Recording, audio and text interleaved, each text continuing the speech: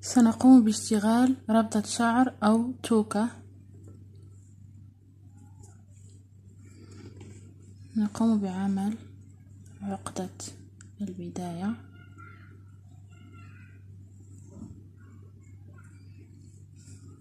ندخل الإبرة في هذه الحلقة. ثم نسحب الخيط من الخلف. ثم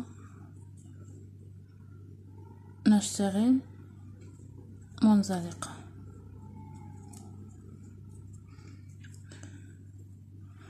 الآن سنشتغل فوق هذا الخيط. نلف الخيط. ندخل الإبرة في الحلقة. نسحب. ثم نقوم بعمل غرزة نصف عمود. نلف الخيط. ندخل الإبرة في الحلقة نسحب ثم نصف عمود.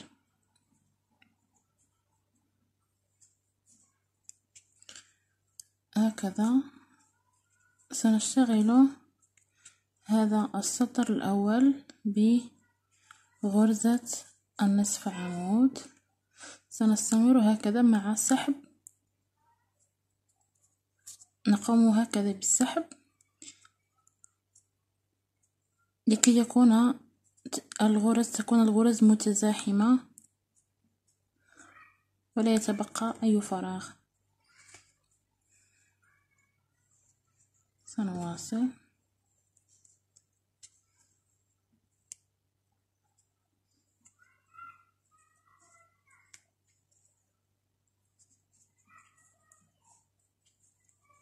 سنحاول اشتغال عفوا.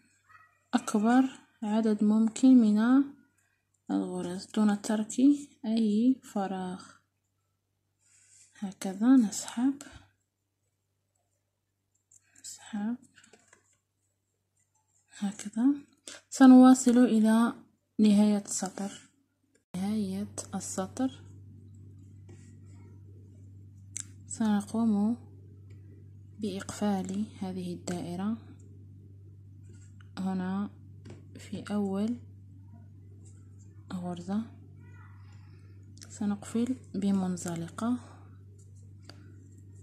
ثم سوف نرتفع باثنان سلسلة.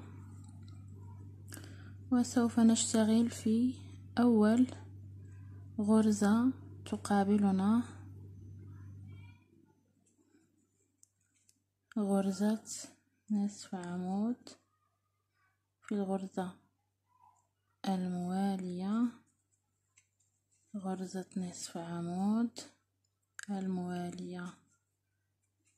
نصف عمود. ثم نصف عمود. ثم نصف عمود. سوف نستمر هكذا بغرز النصف عمود إلى أن نصل إلى نهاية السطر.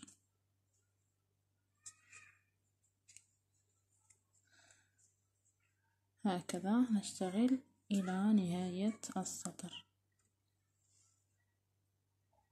وصلنا إلى نهاية السطر. الآن سوف نأتي إلى ثاني سلسلة من بداية السطر ثم سنقفل بمنزلقة ونرتفع بسلسلة اثنان ثلاثة أربعة خمسة ستة سبعة. ارتفعنا بسبع سلاسل. نلف الخيط ثم نشتغل في السلسلة الرابعة. واحد اثنان ثلاثة أربعة. سنشتغل اثنان.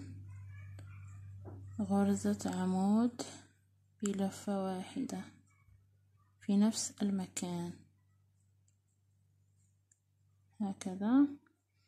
ثم اثنان سلسلة. ثم منزلقة ثم نرتفع بإثنان سلسلة ثم نشتغل في نفس المكان إثنان عمود. ثم إثنان سلسلة ثم سنقفل بمنزلقة في نفس المكان. أصبح لدينا اثنان بتلة الآن. سنرتفع باثنان. سلسلة. ثم نشتغل في نفس المكان. اثنان غرزة عمود. ثم اثنان سلسلة. في نفس المكان. منزلقة. لدينا الآن ثلاث بتلات. نسحب الشغل هكذا جانبا ليتكون الفراغ لباقي البتلات. ثم نرتفع باثنان سلسلة. ونشتغل اثنان عمود بلفة واحدة في نفس المكان. ونرتفع بإثنان سلسلة في نفس المكان. سنقفل بمنزلقة. ثم نرتفع بإثنان سلسلة. ثم نشتغل في نفس المكان. إثنان عمود بلفة واحدة. ثم نرتفع باثنان سلسلة. ثم نأتي إلى نفس المكان ونشتغل منزلقة.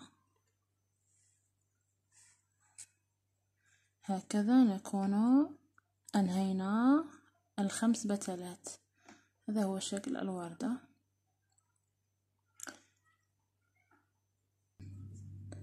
سوف نرتفع بثلاثة سلسلة.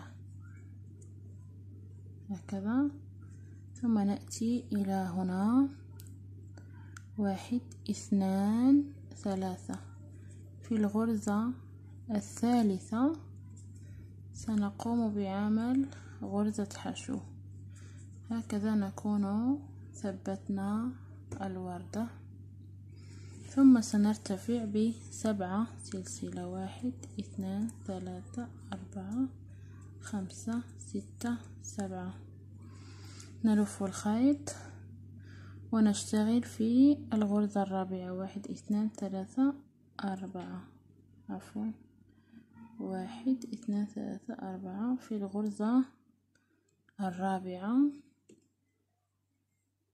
سنشتغل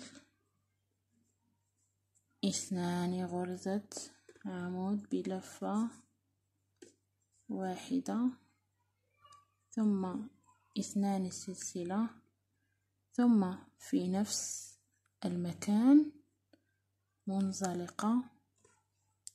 هنا تكونت لدينا البتلة الأولى. نرتفع باثنان سلسلة. نشتغل في نفس المكان. اثنان عمود بلفة واحدة. ثم نرتفع بإثنان سلسلة في نفس المكان. نقوم بعمل منزلقة. ثم نرتفع بإثنان سلسلة في نفس المكان. إثنان غرزة عمود بلفة واحدة. اثنان سلسلة في نفس المكان. منزلقة. هنا تكونت لدينا البتلة الثالثة. نسحب البتلات هكذا ليتكون لدينا الفراغ. نقوم بعمل اثنان سلسلة في نفس المكان.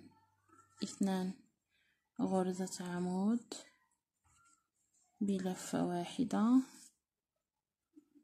ثم اثنان سلسلة في نفس المكان. غرزة منزلقة. هنا لدينا أربع بتلات. نواصل. نشتغل البتلة الأخيرة. نرتفع باثنان سلسلة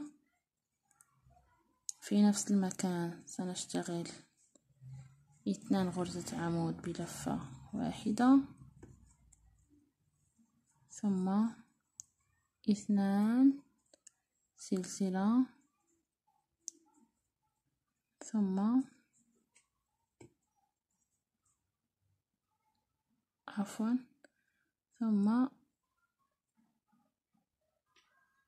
منزلقة. هكذا نكون أنهينا الوردة الثانية. نرتفع بثلاثة سلسلة واحد اثنان ثلاثة ثم نأتي إلى هنا ثم نحسب واحد اثنان ثلاثة.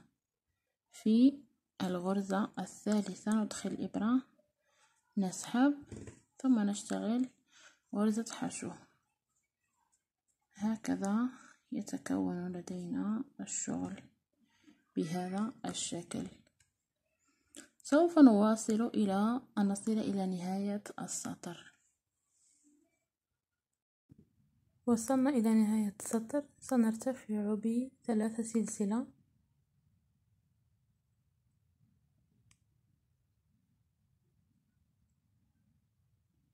ثم سنقوم بعمل غرزة حشو. كالعادة في ثالث عمود.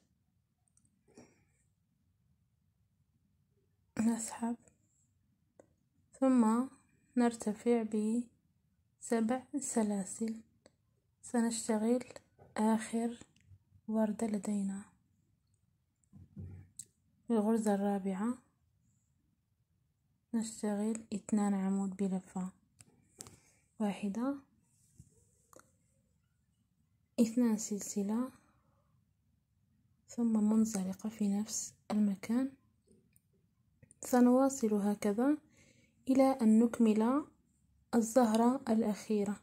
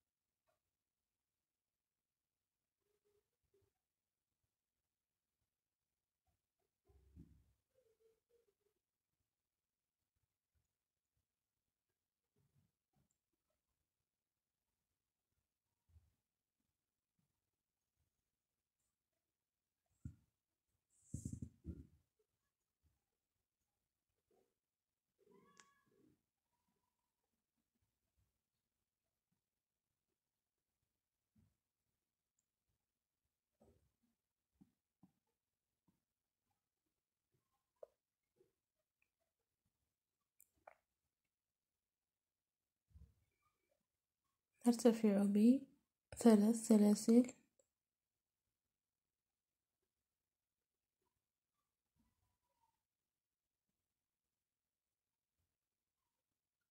ثم نقفل الشغل.